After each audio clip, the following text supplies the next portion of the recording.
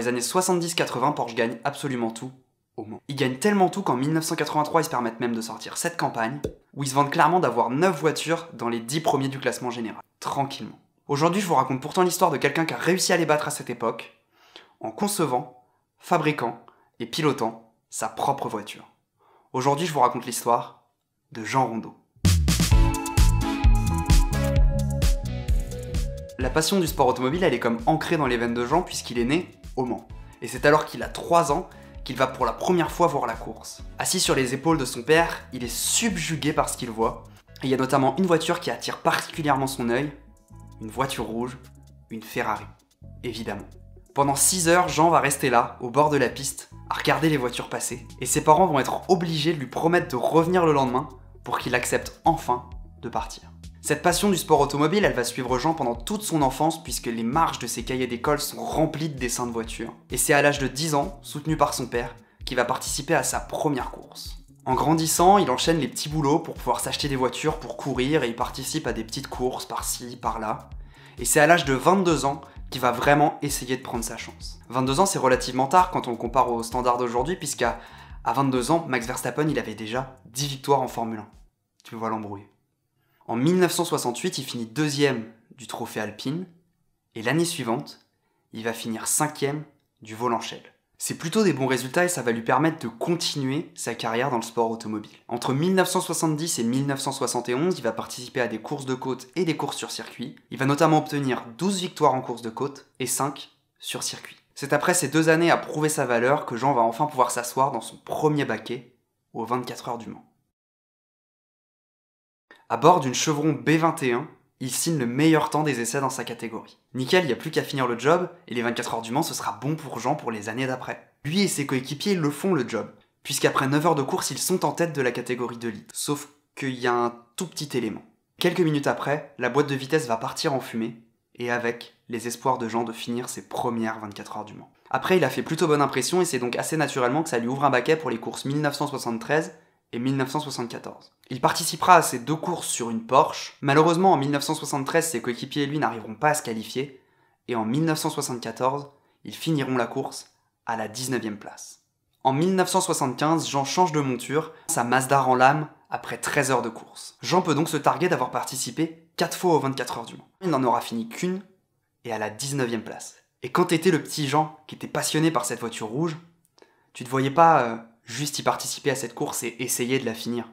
La voiture rouge, elle gagnait toujours la course. Alors Jean, il en veut plus. Depuis ses 8 ans, Jean Rondeau dessine des voitures.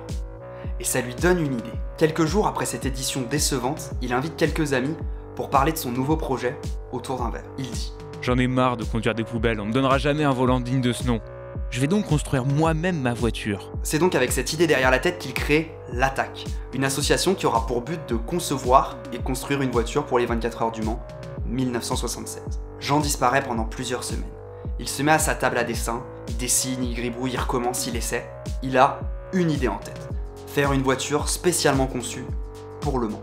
Ce que ne font pas forcément ses concurrents, puisqu'ils participent à d'autres courses d'endurance. Il veut donc créer une voiture robuste, fiable et avec des interventions mécaniques très rapides. C'est seulement quelques semaines après que Jean réapparaît enfin sur la grille du Grand Prix de France de Formule 1. Il est là avec un ami et il mesure tout. Les ailerons, l'empattement, la garde au sol, tout ce qu'ils peuvent mesurer, il le mesure. L'idée pour Jean, c'est d'obtenir toutes les informations qu'il peut pour rendre sa nouvelle création la plus efficace possible. Ce projet, ça commence sérieusement à ressembler à un projet entre potes qui part un tout petit peu trop loin et il manque un élément. Ils ont rien pour construire la voiture et surtout, ils ont zéro thune. C'est donc assez rapidement que Jean et ses amis se mettent à la, recherche de financement et après quelques semaines de recherche, ils tombent sur ce qu'on pourrait appeler le, le Saint Graal, on va dire pour eux. Ils tombent sur Charles James. Charles James, c'est qui? C'est un entrepreneur qui a été missionné pour redresser l'entreprise Inaltera, une entreprise de papier peint de la région lyonnaise. Et Charles James, il n'est pas spécialement passionné de sport automobile, mais il voit bien l'enthousiasme de Jean et il pense qu'il y a un bon coup marketing à faire. Son entreprise est en manque cruel de notoriété, et c'est donc son objectif principal. Créer de la notoriété autour d'Inaltera pour augmenter les ventes. Inaltera devient le sponsor principal de l'équipe, devient même plus que ça puisqu'Inaltera achète les machines, et les voitures vont s'appeler Inaltera. Je sais pas si ça vous rappelle quelqu'un, mais j'ai l'impression que Red Bull a légèrement copié une entreprise de papier peint. Peut-être. Je veux pas trop m'avancer, mais peut-être. Le matériel est acheté et en seulement 5 mois, deux voitures sont construites.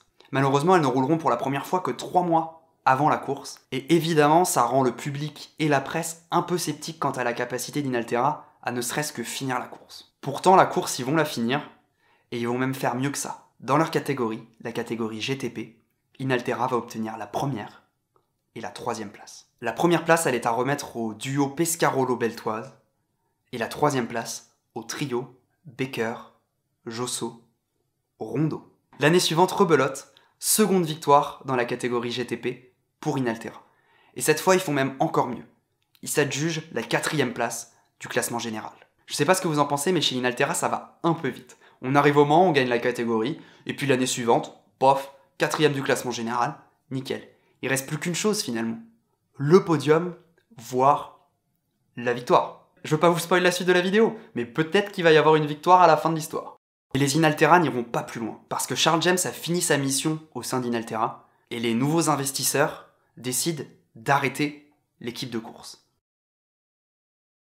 C'est donc quelques mois seulement après l'édition 1977 des 24 heures du Mans que deux camions arrivent à l'usine, récupèrent tout le matériel, matériel qui sera revendu, une bouchée de pain, à une équipe concurrente. L'histoire semble donc finie pour Jean.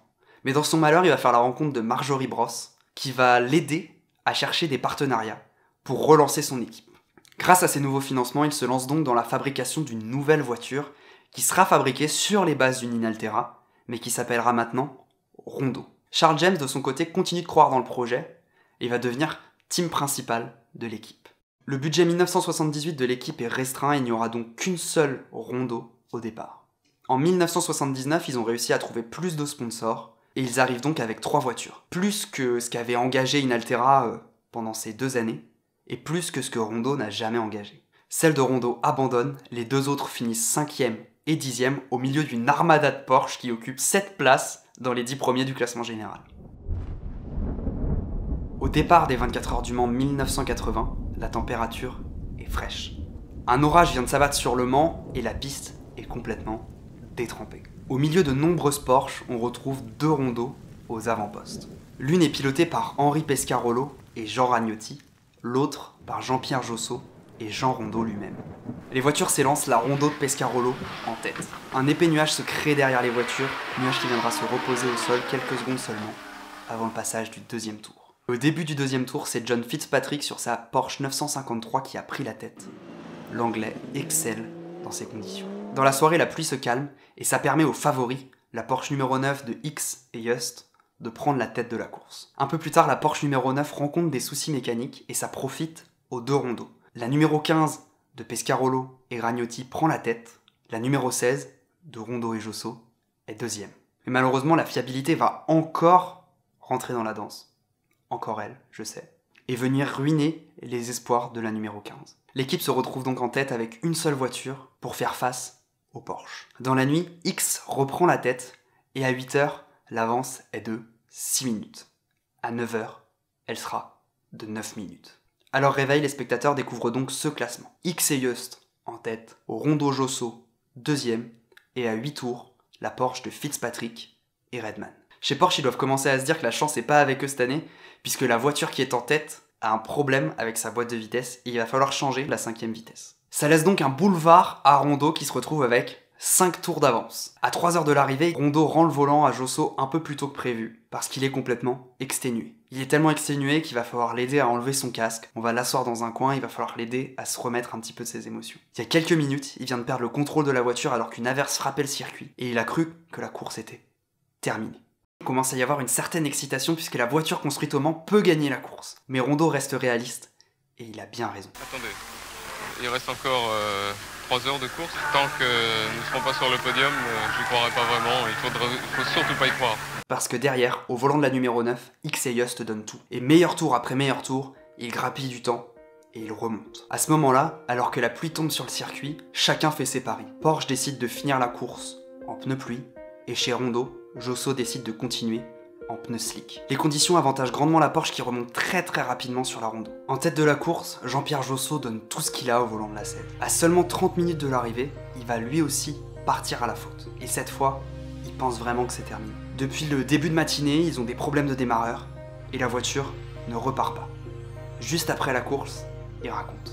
La voiture m'a échappé comme sur de la glace. Elle est partie en tête à queue.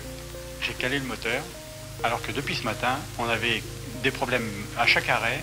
Il fallait verser de l'eau sur le démarreur pour arriver à le refroidir suffisamment pour lui permettre de relancer suffisamment le moteur pour partir. Et là, j'appuie une première fois, rien. Je dis bon, bah c'est foutu. Et tout seul, je pouvais rien faire. Une deuxième fois, et il est parti. La 16 réussit donc à repartir et vole vers la première victoire de Rondo aux 24 heures du Mans. Une victoire de David contre Goliath, on pourrait presque dire, l'histoire de la seule victoire de Rondo au Mans. La Marseillaise retentit alors que le public fête l'enfant du pays qui a réussi à gagner le Mans avec une voiture qu'il a construite lui-même. Il reste encore aujourd'hui le seul à avoir réussi cet exploit. Juste après cette victoire, il est interviewé par beaucoup de journalistes et il dit notamment cette chose. Un constructeur, qu'il soit petit ou grand, euh, se doit, après avoir empoché une victoire, se doit de revenir pour confirmer, ne serait-ce que pour les, organisateurs et bien sûr, bien évidemment pour tous les spectateurs, pour tous les gens qui nous ont supportés. Donc nous reviendrons, c'est sûr. Il va tenir parole puisqu'en 1981, 5 rondeaux sont au départ. Jean-Louis Lafosse décédera au volant de l'une d'entre elles pendant cette course, ce qui rend euh, le double podium de l'équipe complètement dérisoire. L'année suivante, Rondeau engage 6 voitures et seulement deux finiront la course à la 10e et 15e place. En 1983, l'année de la fameuse campagne de Porsche, Rondeau engage 7 voitures aux 24 heures du Mans. Jamais l'équipe n'avait inscrite autant de voitures. Seule une finit, et elle finit loin, très loin, à la 19e place. Comme un signe du destin, cette 19e place, c'est également la meilleure place à laquelle avait fini Rondeau avant de créer sa propre équipe. Et c'est donc la dernière année où il participe aux 24 heures du Mans dans sa propre équipe. En 1984, il participe aux 24 heures du Mans sur Porsche, édition qu'il finira à la deuxième place. L'année suivante, il participe sur WM Peugeot. Ces 24 heures du Mans 1985 sont les derniers de Jean Rondeau, puisqu'il décédera quelques mois plus tard, percuté par un train sur un passage à niveau, à quelques kilomètres seulement de l'usine où sont fabriquées ces voitures. J'espère que cette vidéo sur Jean Rondeau vous a plu. Si c'est le cas, n'hésitez pas à liker, commenter et partager la vidéo pour m'aider à faire connaître un peu plus la chaîne. Je vais sortir une vidéo sur des histoires qui se sont passées dans le sport automobile toutes les deux semaines. En attendant, n'hésitez pas à me rejoindre sur Instagram et sur Twitch où on fait notamment une émission chaque semaine le mardi où on parle de sport automobile.